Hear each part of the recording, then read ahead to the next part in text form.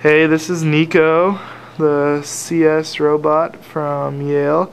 We uh, removed his hand and replaced it with an electromagnet right here so that he can pick up these metal ball bearings from this hopper. We have red ball bearings and black ball bearings, which are used to play the game Connect 4.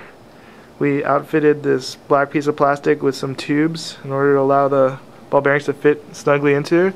Now, Nico, would you mind putting a uh, ball into column 4 for us, please? As you can see, Nico reaches over, picks up a ball with the electromagnet. Sure. Sure. Yeah, oh, never mind. and moves over and will drop it into the fourth column.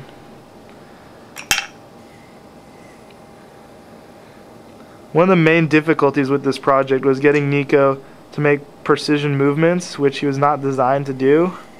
He usually just flails his arms around, which he does sometimes when he's not cooperating. But we've got him uh, pretty well behaved right now. Can you uh, give us one more move?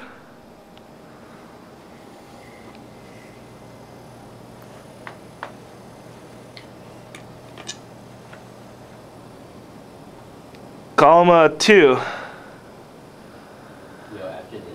Look at Zach and say hello there.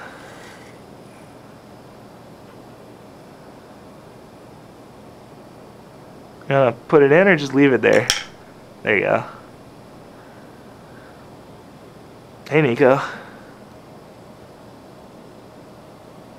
There. What was that?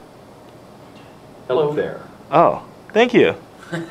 So as you can see, Nico is running, and the way we actually got him to do this, get the electromagnet to work, we had to wire up a uh, motor board and hack it. Justin, uh, our wonderful TA, got this all working for us. Thanks a lot to him. Is he's being remotely controlled through wizard application run back here behind the scenes. No one ever knows. You can see